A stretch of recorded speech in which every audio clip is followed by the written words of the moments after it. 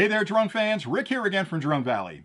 In today's video, I'll try and help you decide which of the two brand new DJI Avata kits might be perfect for you. Because the minute this product was released, we got a ton of questions from viewers asking me, Rick, it looks like DJI's releasing two versions of the Avata. They've got the Fly Smarter kit, and they've also got a ProView kit. What's the difference between them, and which one should I buy? Well, the honest truth is, I've flown with both sets of goggles with the Avata, and I like them both for different reasons. And I know it sounds like I'm kind of splitting hairs there, but there are advantages to this particular kit and there are advantages to this kit. So it really depends on how you're going to fly. The big difference is there's a $220 difference between the kits, so that's important as well. And there's some subtle differences as well. The basic difference between the two kits is the goggles.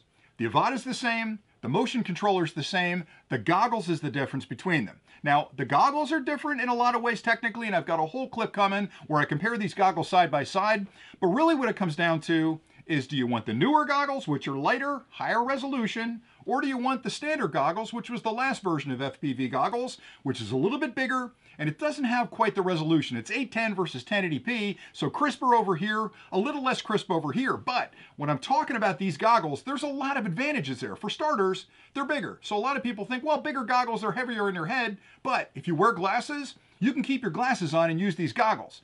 Over here, you can't fit your glasses inside those goggles. They're smaller. They're only 210 grams, I think, on your head. So they're really, really light and they're small. So you put them on, they're just really tiny. But again, the advantage here is you have IPD adjustments on both these where you can slide the lenses out to accommodate for the distance of your eyes, but this one has a diopter adjustment as well. Now, if you don't know what that is, if you're wearing any kind of corrective lenses, I wear reading glasses like this when I'm reading, so I've got to have glasses that correct my vision. Well, the lenses inside here allow you to dial them up to adjust for your reading glasses. So when you put those on, the first thing you'll do is adjust the IPD just like you do on the old goggles, but then you can twist the knobs and actually adjust each eye individually. So you close this eye, adjust this one, close this eye, adjust that one, and you can dial in a crisp, perfect image. In addition to that, if you've got really bad eyes, which I'm heading towards, and that isn't enough of an adjustment, they also include two lenses that you can send out to your optician and they can actually cut lenses to pop on front of those lenses inside the goggle set. So they basically eliminate the need to wear glasses at all. So for me,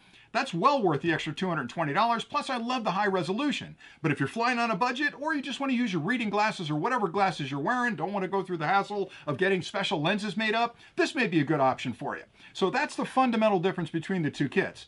Now there are other subtle differences which I only uncovered after we tested this for a couple of weeks because we've had this unit for a little over a month now and I'm telling you I've flown this thing like crazy. The whole team here has been flying it ever since the release and we've spent a lot of time analyzing the product. A couple of subtle things that are different between them. The batteries are different. You may not notice that. So that's kind of interesting that they've gone from a LiPo battery over here which is a 7 to 9 volt battery to a lithium ion battery over here. Small difference, but this is a 9 volt battery. So this packs a little bit more punch than this one does. Both of these batteries work on either set of goggles. The difference is the batteries, the older battery from this particular goggle set works on the new goggles but you don't see the battery indicator inside the goggle set. When you plug in the new battery, you'll know exactly how much time you have left on the goggles. There's a little counter on the bottom for battery level. When you plug in the old battery, you don't get that battery level on there. So that's something I'll probably fix, or not me, they'll probably fix in firmware down the road, but just know that if you plug in the old batteries, it's not gonna work. Another subtle difference between them, on the old goggles, you got this straight through cable, which worked okay, but it's just a straight through cable. With the new one, you get this really nice springy cable, which I like an awful lot because it gives me a little elasticity. The other difference is on the USB-C end on the newer goggles, there's a clip on the outside that actually holds it when you put it in there. Hear that click? It holds onto the battery, so if you drop the battery, it's not going to pop out, or it's not going to work loose and you'll lose connection on your goggles. So I like that a lot. The challenge is when you plug in the old battery, it stretches it a little bit further than I'd like it there on the outside. So I'm worried over time that may fatigue. But anyway, it works just great. So just know that whichever goggles you use, they'll connect up to the uh, brand new Avata with no issues whatsoever. The only thing to keep in mind again is you're going to have batteries that are different. So lithium polymer versus lithium ion shouldn't matter to you because they're both 9 volts eventually, 7 volts to 9 volts, but they're going to work fine in the goggles. The cables are different. If you're worried about that uh, overextension of that clip, uh, these are available as an accessory. They're a couple of bucks. You can find them on the DJI website. That'll work on both batteries with both goggles and you'll be just fine. So anyway, that's pretty much it for today. So what it boils down to at the end of all this, and I've made this way too long to explain it, is the difference between the two kits, the uh, FlySmart kit versus the ProView kit is essentially the goggles. That's it. $220 upgrade for this one.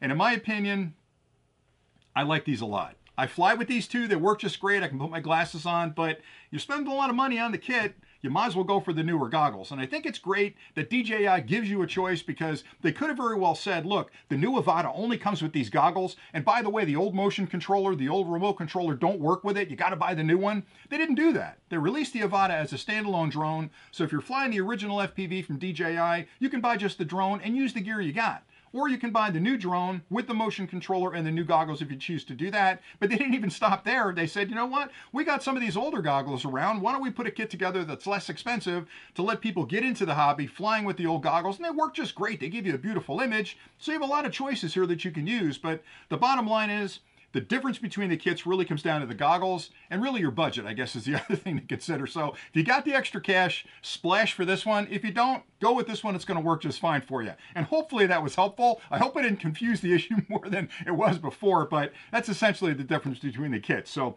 thanks a lot for watching. I promise you, I've got a ton more clips coming. We're reviewing a lot of the technology behind what makes this thing amazing. I've also got some clips showing you what parts are replaceable, how to replace them. So a lot of really good information about the uh, new Avata product from DJI. So thanks again for watching. If you haven't subscribed, what are you waiting for? Hit that subscribe button down there and join the Drone Valley family. I promise I don't drink this much coffee on every clip, but I have a lot of fun talking about technology and hopefully you're enjoying these clips. So thanks again for watching. And until next time, as always, happy flying.